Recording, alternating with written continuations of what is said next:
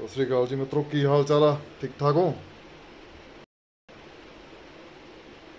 ਮਿੱਤਰੋ ਚੀਜ਼ਾਂ ਤਾਂ ਆਪਾਂ ਸ਼ੇਅਰ ਕਰਤੀਆਂ ਸੀ। ਕੁਛ ਰਹਿ ਗਈਆਂ ਸੀ। ਪਤਾ ਨਹੀਂ ਚਾਰ ਦਿਨ ਜ਼ਿੰਦਗੀ ਹੈਗੀ ਆ ਕਿ ਨਹੀਂ, ਕਿੰਨਾ ਚਿਰ ਰੱਬ ਨੇ ਸਵਾਸ ਬਖਸ਼ੇ ਯਾਰ ਕੁਛ ਲੋਕ ਪਿਆਰ ਕਰਦੇ ਆ, ਕੁਛ ਗਾਲਾਂ ਕੱਢਦੇ ਆ। ਸਭ ਕਿਸੇ ਦਾ ਕੋਈ ਗੁੱਸਾ ਨਹੀਂ। ਬਹੁਤ ਜਲਦ ਜਿਹੜਾ ਰਹਿ ਗਿਆ ਆਪਾਂ ਉਹ ਵੀ ਸ਼ੇਅਰ ਕਰਾਂਗੇ। ਇੱਕ ਤਾਂ ਪੀਲਾ ਪਾਣੀ ਰਹਿ ਗਿਆ ਮੇਨ 14 ਚੀਜ਼ਾਂ ਵਾਲਾ। ਸੱਤ ਚੀਜ਼ਾਂ ਵਾਲਾ ਕਰਤਾ ਸੀ ਆਪਾਂ, ਪੀਲਾ ਪਾਣੀ ਰਹਿ ਗਿਆ ਸੀ। ਉਹ ਵੀ ਆਪਾਂ ਸ਼ੇਅਰ ਕਰਾਂ ਕਰ ਰਹੇ ਹਾਂ। ਤੇ ਹੋਰ ਕੁਝ ਰਹਿ ਗਈਆਂ ਸੀ, ਜੋ ਪਤਾ ਸੀ। ਉਹ ਖਿਡਾਰੀ ਤਾਂ ਆਪਾਂ ਹੈ ਨਹੀਂ।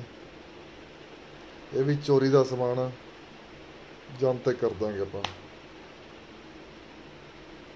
ਬਹੁਤ ਵੱਡੇ ਸਟਾਰ ਖਿਡਾਰੀ ਦੁਨੀਆ ਤੇ ਨਹੀਂ ਰਹੇ। ਉਹਨਾਂ ਦੇ ਘਰੋਂ ਲਿਖਿਆ ਸੀ ਆਪਾਂ।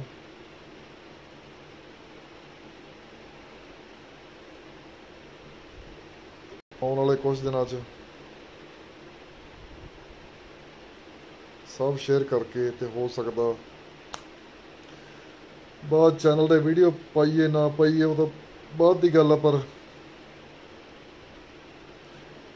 ਦਿਲ ਨੂੰ, ਦਿਮਾਗ ਨੂੰ ਸੰਤੁਸ਼ਟੀ ਰਹੂਗੀ। ਵੀ ਕੁਛ ਲਕੋ ਕੇ ਜ਼ਿੰਦਗੀ 'ਚ ਨਾਲ ਲੈ ਕੇ ਨਹੀਂ ਗਏ। ਸਤਿ ਸ਼੍ਰੀ ਅਕਾਲ ਜੀ। ਕਿਉਂਕਿ ਜਦੋਂ ਚੈਨਲ ਸ਼ੁਰੂ ਕੀਤਾ ਸੀ, ਆਪਾਂ ਗੱਲ ਕੀਤੀ ਸੀ, ਨਾਲ ਕੁਝ ਨਹੀਂ ਜਾਣਾ।